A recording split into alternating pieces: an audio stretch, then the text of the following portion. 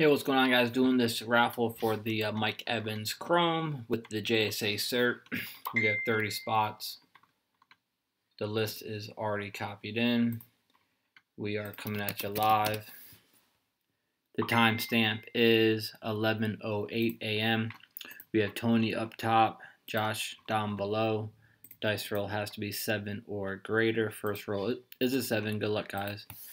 There's one, two, three four, five, six. Next click is winner. And there we go, JT, spot number 11.